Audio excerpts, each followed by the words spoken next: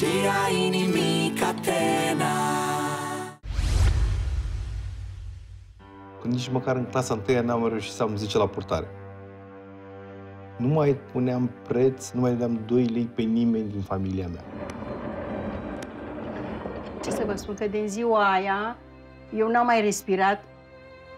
De foarte multe ori m-am comportat groaznic cu ei. În fața lui Dumnezeu am, luat o promisiu- am, am făcut o promisiune, la bine și la rău. Astăzi sunt în viață datorită rugăciunii ei, ale mamei mele și ale surorii mele.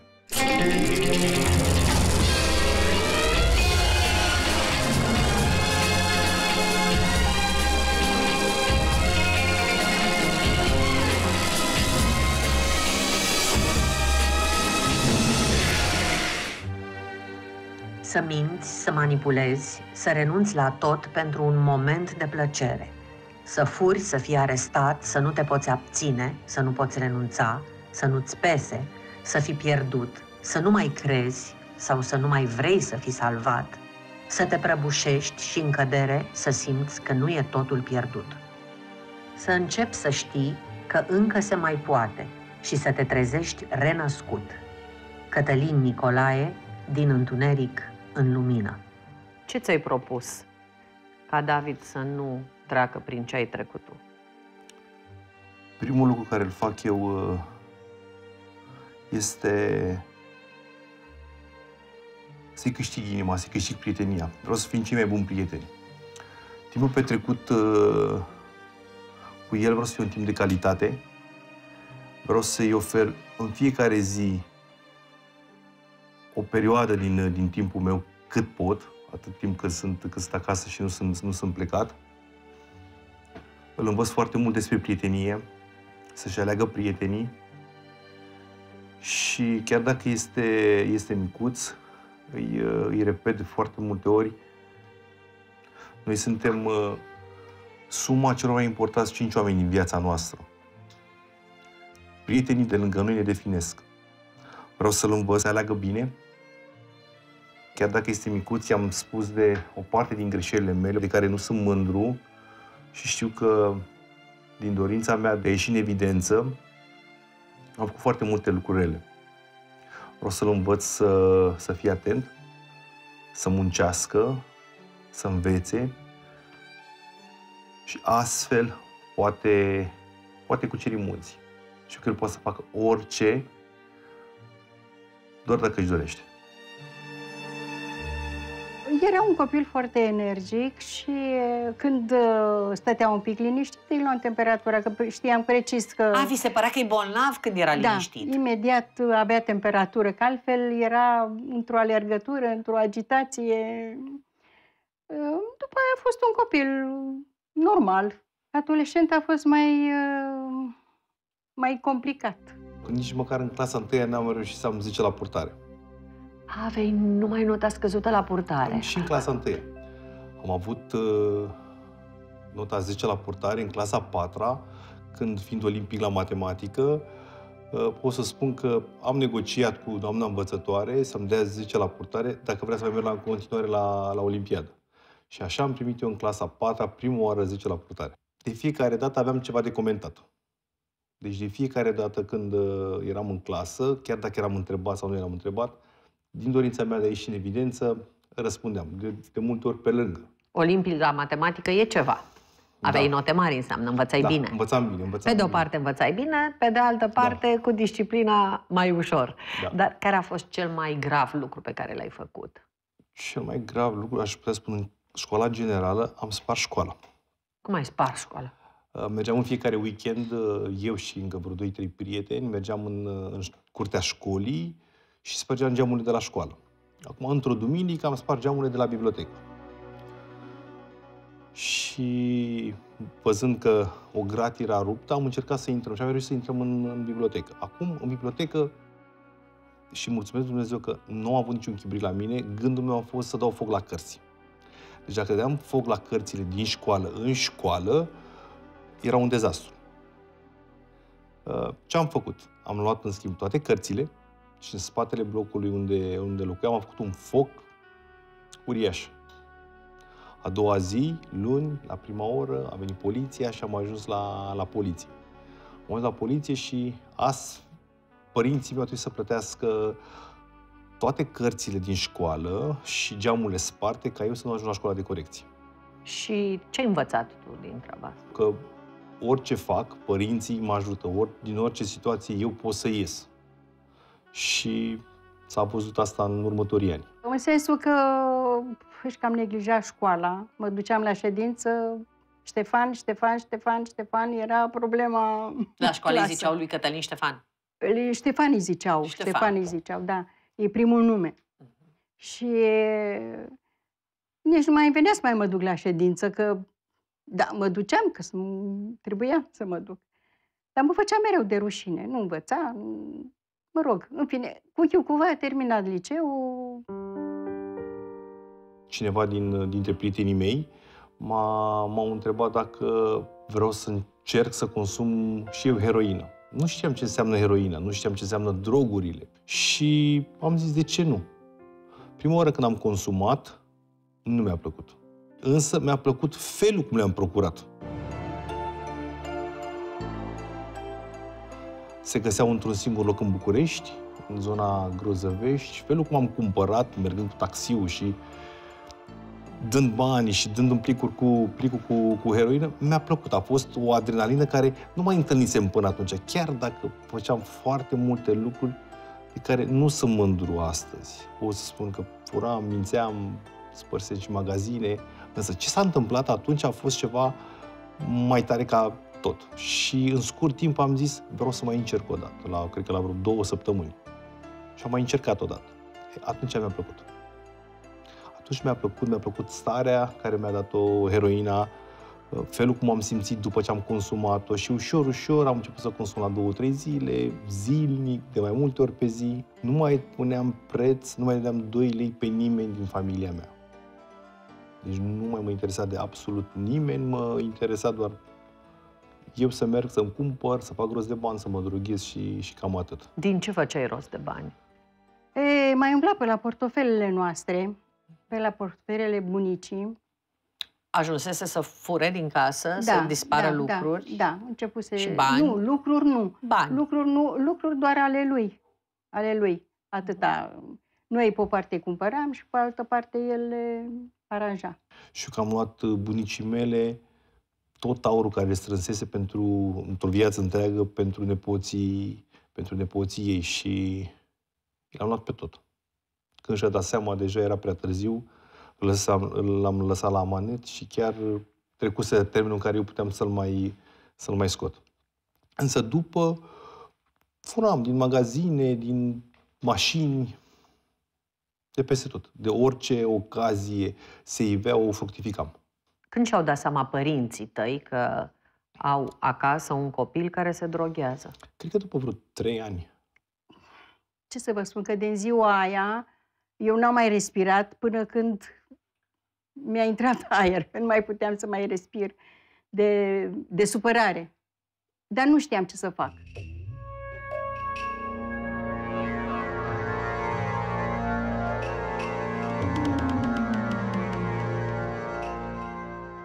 Aveam numai semne pe, pe mână, aveam, uh, umblam cu mâneci lungi vara, să nu, să nu fiu ușor văzut. Mama își punea foarte multe, multe întrebări, însă ușor, ușor o, o păcăleam. De foarte multe ori, uh, cei din casă află ultimii. Și așa s-a întâmplat și la mine. Toți vecinii, toți prietenii știau și astfel a auzit și soara mea și m-a, m-a văzut odată cu semnele pe mână și a spus mamei mele. Am încercat să mergem la doctor, am mers la spital, la internat. După o săptămână uh, ne-am dus la el, îl duceam în fiecare zi. Și nu, i-am acasă, i-am acasă, i-am acasă. L-am luat acasă și am stat o lună de zile cu el în casă, încuiați în casă, efectiv încuiați. Nu vă duceam nici să arunc gunoiul. Eu știu că dormea cu cheia la gât. Dormea cu cheia la gât. Ea dormea cu Dormea cheia cu la cheia la gât. gât, că eu să Din nu- disperare că tu vei putea ieși. Da. Uh, Însă, la fel ca de fiecare dată, în prima zi când am ieșit afară, în prima zi am consumat. Nu, nu putea, nu putea să renunțe la anturaj, nu putea să renunțe peste tot. Erau la noi în cartier uh, și în bloc. Era apartamentul de lângă noi, era un alt uh, băiat care deodată cu el. De trei ani a murit. Câte internări ai avut? Mm, Nu știu, cred că am avut în jur de 17-18 internări. Multe La internări, psihiatrie, dar da. care nu au Fără avut folos. niciun efect, fără folos? Da, pentru că intram, medicii își făceau treaba senzațional de bine, cât eram acolo, treceam de perioada de sevraj, ieșeam și mă reapucam, pentru că aici nu se schimbase nimica. Da, Ce înseamnă perioada de sevraj exact? Um, De exemplu, atunci când ești consumator de, de heroină, când întrerup consumul de, de heroină brusc, apare în corp un sevraj. Sevrajul poate să fie asemuit cu, nu știu, cu o durere de măsea, uh, amplificată de 50 de ori apli- pe tot corpul. Deci plângeam de durere. Mă durea fiecare oșor din, uh, din corp. Plângeam de, de durere, nu puteam să stau uh, în picioare, aveam frisoane, era cumplit, e cumplit. Deci e cumplit. Căut, v-am spus, căuturile de măsea Și amplificată. spitalul te ajută prin medicație să treci De mai perioada ușor asta. Da, peste da, da. această perioadă. După care, când ajungi din nou afară, Faci ce știi. Și eu știam un singur lucru, să merg, să fur, să mă droghez. Era singurul care eu îl știam. O altă încercare a părinților să, să renunț la droguri a fost uh, incorporarea mea în armată. Au crezut că dacă merg în armată, pentru că eu până atunci o fentasem, uh, un an de zile o să fiu ținut de, departe, o să am nevoie, de- o să primez foarte multă disciplină și astfel o să mă oferez de droguri. și nici armata nu te-a ajutat? Nu, pentru că încă din primele zile am, uh, că am mers cu un tratament la mine de, de pastile, că țineam încă ascuns lucrul ăsta de, de cei din jur. Însă când le-am terminat, am, uh, am sărit gardul și mi-a fost foarte ușor să ajung în Rahova. Și în Rahova am știut de unde să cumpăr, de unde să cumpăr droguri. Însă, asta în prima parte a armatei. Însă în a doua am fost chioșcar, aveam ordin permanent, intram când vroiam și când ieșeam din unitate și am, ușor, am, consum, am uh, putut să consum foarte ușor și în a doua perioadă de, de, armată, de armată droguri. Deci nu m-a ținut departe nici armata de, de droguri. Pentru că le iubeam foarte mult. Le iubeam. Ai ajuns să iubești drogurile mai mult decât să-ți iubești părinții? Da. Sau mai mult decât să te iubești pe tine? Mm, Le iubeam mai mult decât orice. Odată de, înainte de Paști, mă sună de la poliție să mă duc să-l iau. Și am spus, domnule, știu ce face. Țineți-l, eu nu mai am nevoie de el. Țineți-l acolo. N-am ce să-i fac. N-am înțeles cum poate o mamă să spună așa ceva. Însă era o mamă disperată, o mamă care credea că singura soluție e ca eu să merg la închisoare, dacă stau departe de, de droguri și de anturaj, uh, problema dependenței o să dispară. Mama ta a simțit închisoarea ca, tot ca pe o speranță că te poate ajuta. Cum poate salva? Că stând departe o perioadă de drog, Da. tu ai să reușești să te salvezi.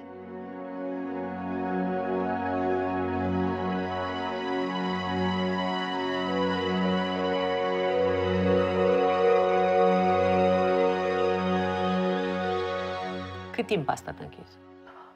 Trei ani și opt luni. Trei ani. A stat Trei închis, ani peste și opt trei luni, ani. Da. Ne-am dus la Jilava, eu n-am putut. De trei ori ne-am dus în vizită. Eu n-am putut să cobor din mașină să mă duc să-l văd. Și n-ați putut Ba nu, intra la el? am intrat, dar după vreo trei uh, ori de când am avut vizita, um, așa, am putut să cobor din mașină, că nu puteam să, nu puteam să cobor. Când auzeam ușile alea de metal că se închid, e, parcă mă strângea, parcă, nu, nu știu, parcă, nu știu, pe, nu știu cum să vă spun, a fost ceva, un, erau e un niște coșmar. sunete. Parcă erau vorbiți niște, despre altă persoană acum, nu de... Parcă nu dumneavoastră ați fost în situația da, de asta vă aceea. spun, nu știu, a fost un vis sau visez acum, nu știu precis.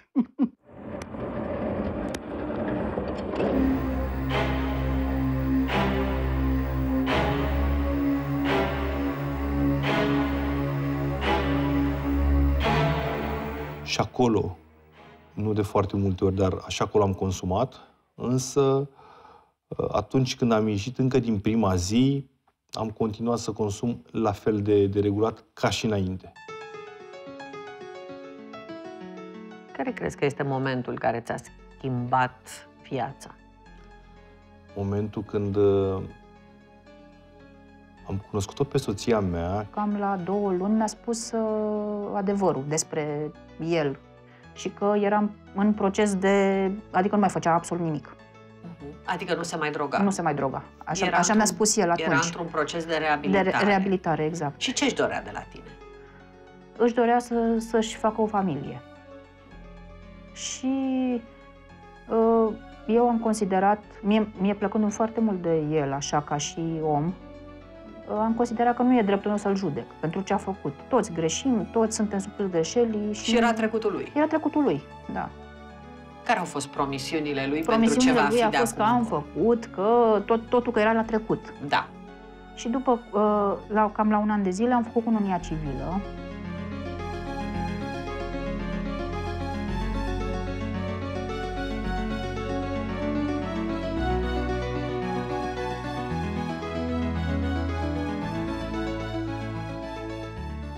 De prea mult bine, eu în loc să mă opresc, am început să consum în loc de heroină etnobotanice.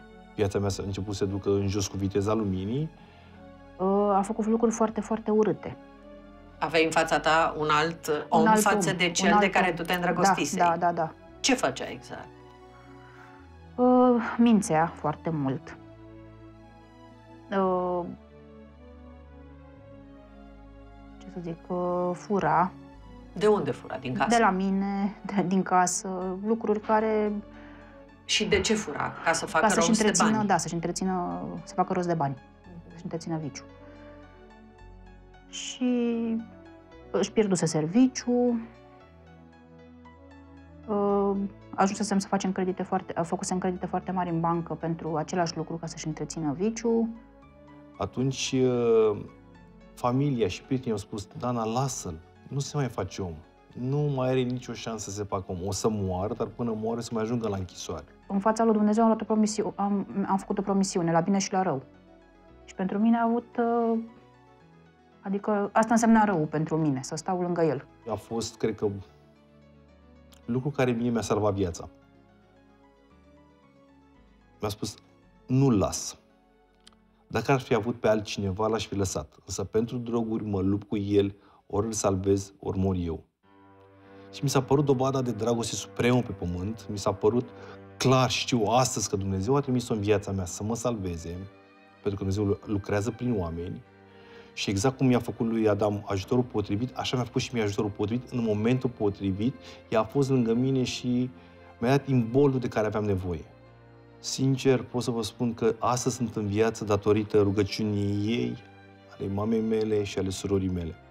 Pentru că au fost persoanele, femeile din viața mea care m-au iubit împreună cu tatăl meu, însă știu că ele au luptat cu adevărat El a acceptat să se interneze la spital pentru a scăpa de această Da, dependență. da, da, da, A fost primul semn că el își dorește o schimbare. da, Și primele tale speranțe. da, da.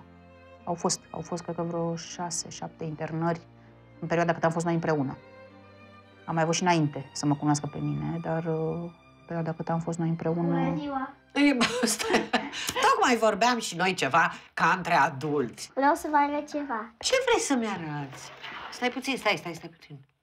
David, diplome! Ia, ce mi-arăți tu aici? Ia să văd.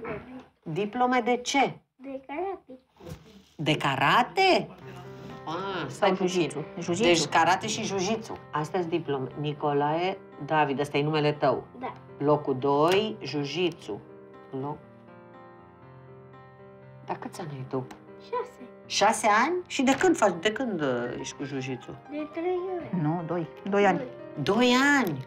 Bravo! Și tatăl tău te duce la jiu-jitsu? Cine te duce la jiu-jitsu? Mami și tati. Și mami și tati? Super! Eu te felicit! Dar auzi, diplomele astea nu au și niște medalii? Mm, Bunele le dau, Au, unele nu. au. Da, au Sunt și toate? medalii. Cele de la jiu da? Da, au medalii? Le ai aici? Mi le aduci mie? Da. Hai, mersi! Um, când ne-am întrerupt, când ne-am întrerupt, David, uite că își aduce și pe aici. medaliile. Super! Jiu-jitsu, uite. Ui, voi vedeți aici ce băiat mare avem și cu ce mândru e de medaliile lui. Da. Super! Ce vrei să fii când o să fii mare? Cu campion de jiu-jitsu sau actor? Aș vrea să fiu ce, ce vrea și tati. Ce e și tati. Ah, tati, modelul tău. Da. Super, îți doresc succes! Mersi. Mă lași pe mine să mai vorbesc puțin cu mami? Mersi. Vin să fac o fotografie cu tine după aceea și îți mulțumesc. Așa.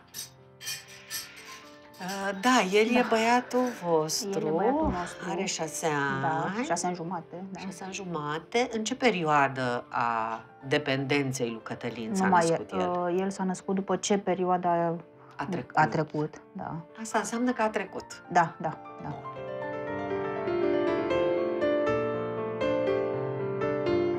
Încercasem de mai multe ori să merg în spital, dar ce se întâmpla după strica tot. Și era clar că e nevoie de o continuitate. Și astfel au găsit centrul Teen Challenge, centru în care astăzi ne aflăm, un centru în care Dumnezeu schimbă vieți, Dumnezeu transformă oameni, Dumnezeu transformă dependentul care... Dependentul în, în societate este văzut pe bună dreptate ca un cărbune. Însă, în locul potrivit, și locul potrivit cum este acesta, se transformă într-un diamant. Ai venit aici împreună cu familia ta, ai făcut o vizită și ai decis să rămâi? Sau cum s-a întâmplat? Eram în spital, eram în spital, eram în spital la Spitalul Obregea, internat, am stat atunci o lună jumătate. A venit un reprezentant al centrului, Uh, noi facem săptămâna asta. Astăzi eu fac săptămâna asta, merg în fiecare zi de luni în Spitalul Sfântul Selian și Obregea, intru pe secții și vorbesc cu, cu tineri dependenți. Uh, Le spun că este o șansă, eu le spun de locul ăsta și le spun că în locul ăsta eu mi-am schimbat viața, am o viață nouă. Cătălina a fost prima persoană cu care eu am interacționat când am venit în centru și eram uh, foarte confuz la început, veneam din dependență și el a fost persoana care, cumva, uitându-mă la el și văzând stilul lui de viață, m-a făcut să-mi doresc să trăiesc și eu stilul de viață pe care îl trăia. Mi se părea incredibil ce familie are, cum își duce zilele, l-am văzut și când avea zile bune și când avea zile proaste și l-am văzut cum gestionează și cum își trăiește el viața și când am văzut lucrurile astea m-am gândit că e o viață care merită trăită și m-a făcut să-mi doresc felul lui de a-și trăi viața, m-a făcut să-mi doresc să trăiesc și eu așa. Și a venit un reprezentant al centrului uh, și mi-a spus de locul ăsta. Mi-a spus că el a fost dependent și că într-un loc pe care, unde el lucrează, lucra atunci, mi-a spus că și-a schimbat viața. L-ai crezut? Ai crezut că se poate așa ceva? Eram un pic sceptic pentru că le încercasem pe toate. Ai ajuns aici. Am ajuns aici. Am ajuns aici. Uh, Prima oară am venit pentru un interviu, direct din spital am venit pentru un interviu. Interviu au vrut, echipa de atunci a vrut să vadă cât de mult eu îmi doresc să mă schimb. Pentru că poți să ajuți pe cineva cu adevărat dacă el își dorește. Dacă el e contra, clar că nu poți să faci omenește nimic. Și am avut interviu cu, am avut interviu aici, iar după a trebuit să merg acasă. Și eram cu tatăl meu, mama și soția mea. Drumul de aici spre București trece printr-un câmp. Deci, în câmp efectiv, nu erau niciun fel de, de case, cred că pe o rază de câțiva kilometri. Și am spus, fumam în perioada aceea. Și am spus, tată, trage puțin pe dreapta să fumez și o țigare. Și el a tras pe dreapta. A tras pe dreapta, însă în momentul când am deschis ușa la mașină să cobor jos, am găsit un plic de droguri exact din acelea care le foloseam eu. În dreptul mașinii tale. Chiar într-un de- loc în care mașina s-a oprit. Într-un câmp. Într-un câmp. Care era probabilitatea să se întâmple? Nu, eu nu văd nicio probabilitate. Deci în București, în perioada aceea, găseai pe jos seringi, plicuri, fiole. Însă într-un câmp, la țară, nu erau șanse mici să găsești. Și mai mult la ta. Droguri pe care doar ale le foloseam. Țin minte că foloseam etnobotanice și pe vremea aceea erau la magazine peste 30-40 de tipuri. Exact tipul pe care eu, l-am, eu îl foloseam. Venind după o lună jumate de spital, atunci când l-am văzut, sincer, am început să tremur. Mă uitam, am început să respir greu. Mama și soția mea m-au văzut, au văzut că am văzut plicul pe jos, n-am apucat să-l iau și nu știu cum m-au omețit, m-au păcălit și, și l-au luat. Și din nou revin la ce v-am spus și mai înainte, Dumnezeu mi-a făcut ajutorul potrivit. Soția mea a fost lângă mine într-un moment critic, pentru că eu dacă luam plicul acela, cu siguranță astăzi nu mai eram în viață, pentru că aveam 50 de kilograme, îmi făceam nevoile pe mine, la televizor îmi citea soția, Cum îți cită? nu puteam să mai citesc. Deci nu puteam să mai fiu, să fiu atent uh, uh, atât de repede cât se lua sub, subtitrarea. Nu puteam să mai fiu coerent într-o discuție cu cineva decât două, trei cuvinte, propoziții scurte. Nu fraze, propoziții. Aveam niște ticuri și felul meu de a vorbi era foarte ciudat. Vorbeam în jumătăți de, cuv- de cuvinte, bâlbâ- mă bâlbâiam. Eram, nu cu un pas în groapă, cred că am fost cu totul în groapă. Uitându-mă la întâmplarea de atunci, mă, mă uit și nu vreau să spiritualizez deloc, vreau să spun că ca și cum diavolul și-a jucat ultima carte.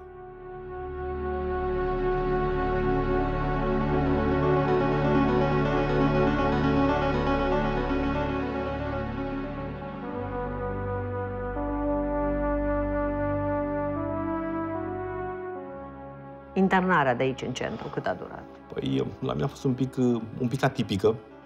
Spun asta pentru că, fiind un manipulator, un mincinos, un băiat care am trecut prin toate văile cele mai adânci, atunci când am venit în program, am încercat să fac programul în termenii mei. În termenii tăi. Găseai Da. tu regulile tale. Găseam eu regulile mele și găseam întotdeauna să fentez un pic programul. Un exemplu simplu, era o zonă interzisă pentru băieții din program atunci când eram eu în program și eram afară și într-o seară am văzut mai multe lumini uh, neobișnuit în camera aceea și nu era o zonă în care noi aveam voie, însă eu am zis, nu e să n-am voie, mă duc acolo să văd ce e. e când am intrat și am deschis, uh, am deschis ușa, am văzut mai multe mese cu păhărele de plastic de, de unică folosință și cu niște plântuțe cam așa primul meu gând a fost, "Pă, aici e marihuana.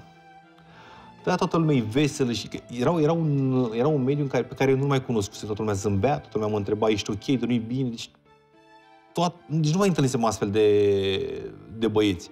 Și explicația mea omenească a fost, "Pf, aici e marihuana, de-aia toată lumea e veselă și fumează, se întâlnesc seara și, și, fumează, și fumează marihuana. Însă nu, nu era asta, erau roșii pentru că eu nu văzut cresc, băiat crescut la București, nu știam cum arată un răsat de roșii. Noi avem aici o seră pe care tot noi băieții le, le plantăm și le creștem. Și nu văzusem roșii, decât roșiile caserole, le văzusem fructul și atât, nu știam cum arată. Și uh, am încercat întotdeauna când am fost în program să-l fentez. Să-l fentez și spun, uh, spun asta pentru că de mai multe ori când aveam ocazia, încercam să manipulez. De uneori cu succes. Însă, cum adevărul este întotdeauna la suprafață ca uleiul, uh, după, pentru că deja focul se aprinsese. Acum, aici e ca un cuptor, de unde ies bijuterii de aur. Cum poți să faci aurul cel mai bine? Îl bagi într-un cuptor, mărești temperatura, apare zgura, o iei, o arunci și așa, așa e aurul din ce în ce mai pur. Și pentru că focul se mărise la mine, eu am cedat. La șase luni de zile, am zis, nu mai pot, renunț, plec, sunt bine. Și am plecat acasă. În câteva zile, sau cred că o săptămână, am consumat din nou. Viața mea a arătat în, într-o lună de zile mai rău decât a arătat înainte. Atât de rău am coborât într-o lună de zile încât mi-e groază să-mi aduc aminte.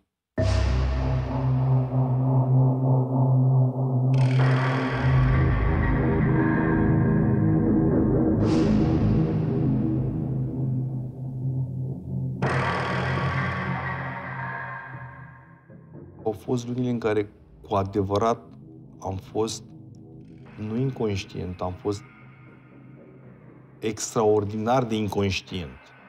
De ce spun asta? Mă angajasem.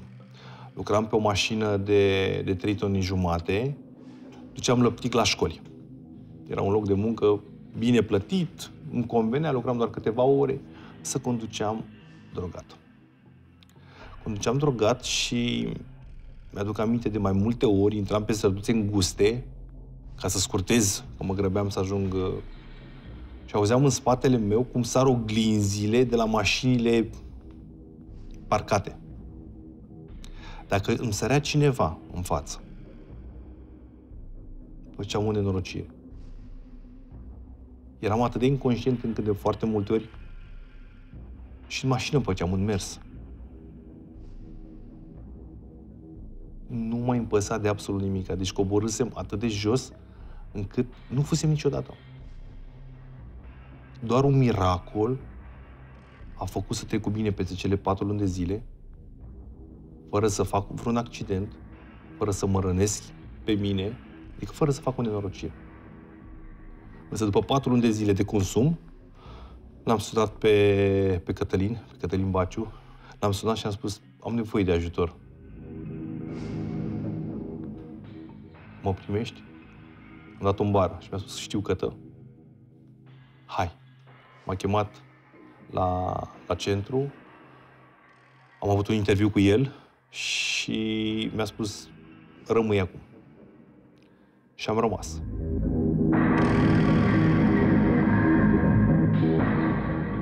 Pentru că eu când am început din Challenge în 2003, m, lucram deja de șapte ani de zile cu copiii străzii.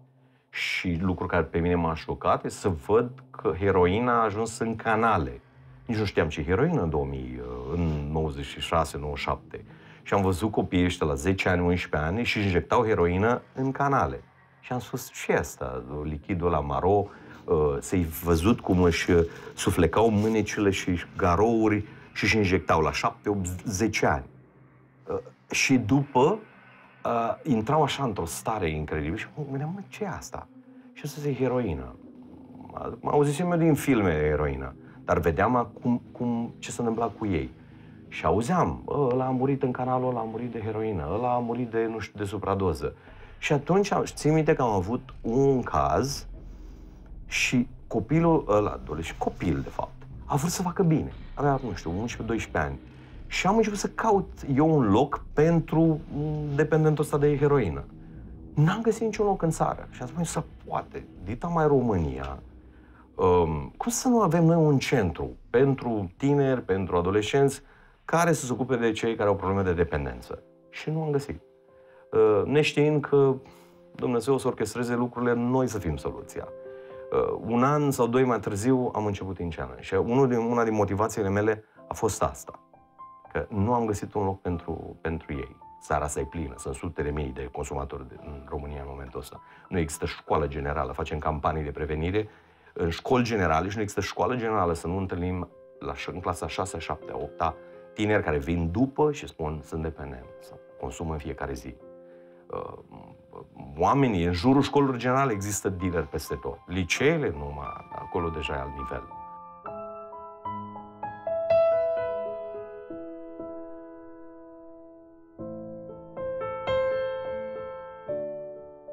Luci, poți să spun asta? Atunci când el era dependent, sub influența drogurilor, un accident de circulație a dus la moartea unui bătrân. O tragedie și pentru familia bătrânului și pentru el. Aoleu, aoleu. Și... Uh, Vino încoace să vin te aici, îmbrățișezi. Vin aici, vin aici. Ce, ce fain că nu merită, a? Nu merită îmbrățișarea. Vreau să te Dar îmbrățișez. merită. Și de cât timp reabilitat? Deci, acum câți ani ai intrat în centru? 5 ani, în aprilie să fac 5 ani. 5 ani în aprilie, nici nu mai știu. De când ai pentru că- reușit. Bravo. Da, și un, un tip absolut incredibil, un viitor, uh, o mm, persoană care cred din toată inima că va influența tot ce înseamnă legislativ în România, tot ce Wow! înseamnă... Student la uh, drept? Student la drept. Un Și cu potențial student la absolut drept și cu incredibil. carnet Da. de conducere. Și câți ani ai consumat? 6 ani am consumat. Și de când nu mai consumi? Și 5 ani de când nu mai consum. Bravo! Să nu mai consumi. A, deci Mulțumesc acum, lui Dumnezeu acum ai pentru căsătorit, viața nu, mea. nu mai are nicio Da, șansă să nu consume. mai- Nu mai... Da, ți-ai făcut și familie acum, ești și student, ai și carnet, totul a fost un coșmar, nu? Da, a fost cumplit. Perioada de dependență e foarte dificilă. E greu de spus în cuvinte tot ce se întâmplă. E un coșmar. Da. Care este visul tău, Luce? Visul meu cel mai mare a fost să am o familie. Și o acum- ai? Și acum o am, iar acum visez mult și uh, legat de ce a spus dumneavoastră. Îmi doresc să, să spun cu relevanță și să mă implic în, în viețile tinerilor. Ăsta e visul meu. Să pot să spun uh, relevant pentru ei, pentru tineri, că nu merită să consume droguri. Și tu? Dependent de heroină, Câți am ani? discuție cu domnul... Câți ani de heroină? Uh, 22. Poftim? 22? Da. Și acum? De cât timp nu ești dependent? De mai bine de 6 luni. De Și a vedere? apărut la tine o schimbare?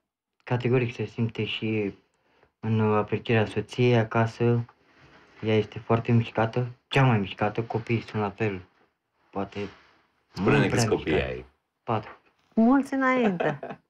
Și nu-i mai vezi de când stai aici, nu? Ba da, mi se permite să A, sun, mergi, să fiu suni. sunat. Și da. vin sâmbătă. A, și vin în vizită. Da, sigur. Sâmbătă pot, uh, familiile vin în vizită Ah, încoace. La biserică avem Iar la fel vin în oraș, la locul unde ne întâlnim, acolo la biserică, pe, m, și văd din nou. Sincer, fără cadrul ăsta nu cred că aș fi reușit să, să-mi dau seama și să conștientizez uh, lucrurile cât de greșit le-am făcut și cât de mult am greșit. Nu cred că mi-aș fi dat seama. Sincer, când am venit aici, am, am venit cu un gând, Doamne, o să fiu iarăși un an departe, iarăși o să am parcă tot uh, o detenție, dar când mi-am dat seama de lucrurile care se întâmplă aici și că, de fapt, toate astea mă ajută să văd lucrurile într-o lumină corectă, Mm. este total diferit. E un- total, nu, nu se pot măsura. Asta sunt chestii care nu poți să, decât să le conștientizezi și să te dai în spate și să fii atent la ce spun oamenii ăștia ca să poți să realizezi sensul vieții cu adevărat.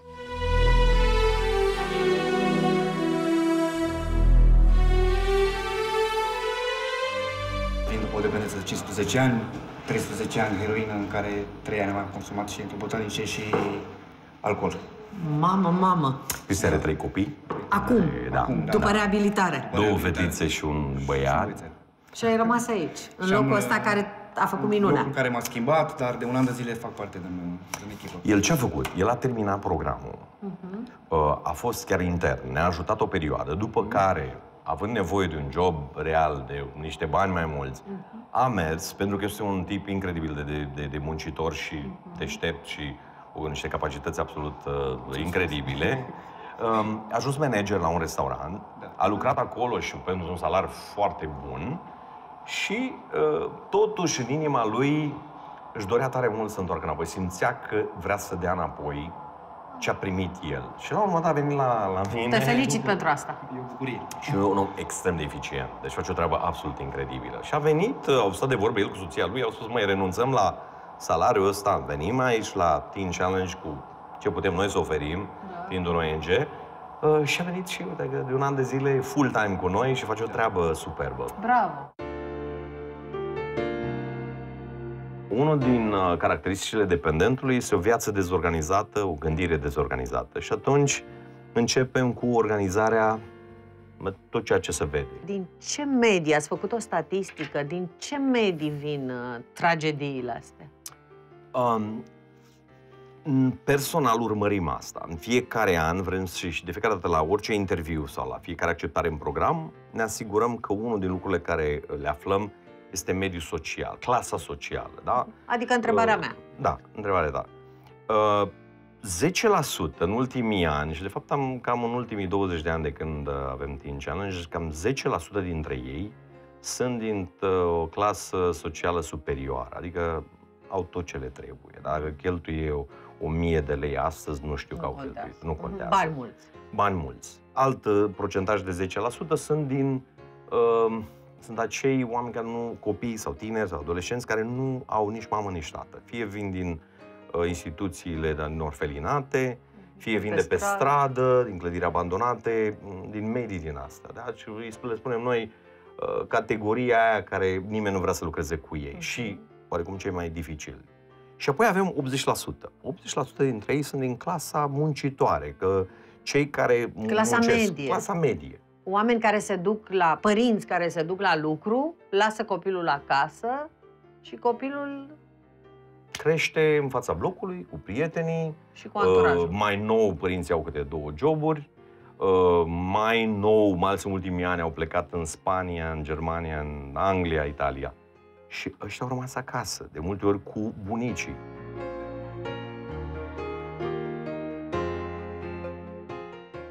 Ce faci acum? Cum arată viața ta acum? Câți Eu- ani au trecut de atunci? 12. Și viața mea e superbă.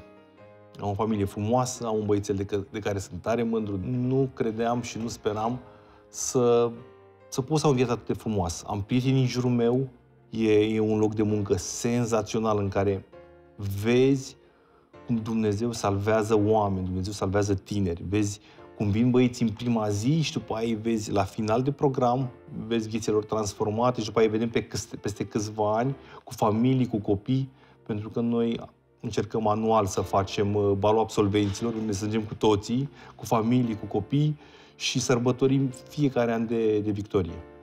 Mi-am dat seama că um, efectiv sunt liber atunci când, uh, după perioada de, de program, eu uh, încă un an și jumătate, trecând prin cartierul în care am crescut, am locuit, efectiv mă feream de anturajul vechi. Mă feream de anturajul vechi fugeam uh, efectiv de, de ei și salutam de la distanță. Ei strigau după mine, Cătălin, hai, hai, hai să stăm de povești. Uh, însă, după un an și jumătate, am putut să stau, să mă întâlnesc cu o persoană fără să mai reaprindă în mine pofta pentru, pentru droguri. A început să te bucure și altceva. Da, da. Nu... Ce anume? În primul rând, mă împlinea ce făceam aici mă împlinea că acum, la rândul meu, puteam și eu să ajut. Puteam să, să dau speranță. Pe mine ziua de, de luni când merg la, merg la spitale și merg și vorbesc cu, cu băieți care sunt, sunt internați, atunci când intru, primul impact, cei care nu mă cunosc, cred că sunt polițist. Și simt asta în privirea lor. Le spun că nu sunt polițist, le spun cine sunt, unde lucrez le spun că și eu am fost consumator, însă discuția mea cu ei pleacă primindu-i în ochi și văzând că licărul de speranță în ochii lor nu există. Însă pe parcursul discuției, până la final, se reaprinde ceva. Este bucuria că poți face bine. Da. Deci e lucru care pe mine mă împlinește și îmi dă poftă de viață. Ai vrut vreodată să-și ceri iertare? Da, și am făcut asta. Eram cu toții la o masă de, de Paște, dacă nu mă dacă nu mă înșel, și erau toți în jurul mesei, mai puțin bunica mea care i-a murise între timp. Uh, murise până ca eu să ajung în, uh, în, uh, în centru și să fiu bine. Și știu că i-am, ne-am strâns toți și m-am oprit la un moment dat și mi-am cerut scuze fiecăruia în parte pentru că i-am trecut prin niște momente cumplite. Mai mult, de mai multe ori am ajuns cu supradoză la spital, de mai multe ori m-au găsit căzut pe scări, uh, m-au scos de la poliție, plus că i-am făcut de rușine în bloc. Mi-aduc aminte că toți vecinii la noi la ușă veneau și îi spuneau mamei mele, iar s-a drogat, iar a făcut, găseau seringile pe jos pe scară, cum era în perioada aceea. Era locul în care consumam zilnic. Efectiv, vecinii de la noi din scară, țin minte, și lor le-am cerut iertare, pentru că, la un moment dat, nici nu mai urcau cu mine în lift.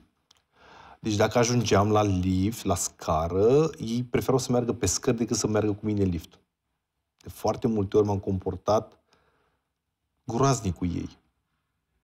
Însă după ce am fost bine, după ce am fost bine, mi-am cerut iertare.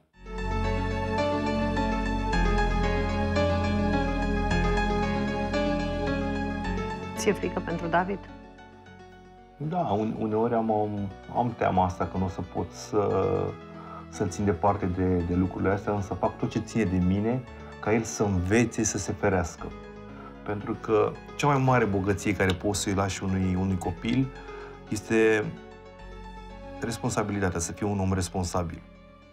I-am spus încă de, de micuț i-am spus povestea mea și el a făcut un lucru care m-a, sincer, m-a, m-a surprins. Imediat după ce a aflat, cred că la, la câteva luni, a fost ziua mea. Și felicitarea care am primit-o de la, de la el a fost cel mai mare cadou pe care l-am primit vreodată. Mi-a scris cu, cu mânuța lui, tati, ești eroul meu.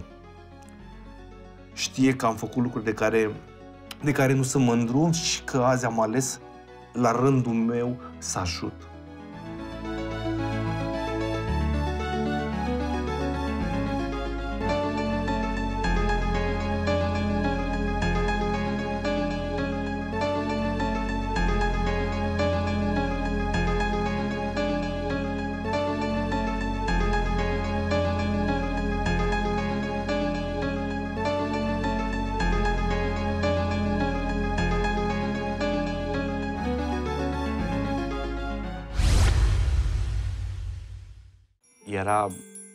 Extrem de, de fericit uh, să-i ajute pe ceilalți, de, fericit de succesele celorlalți.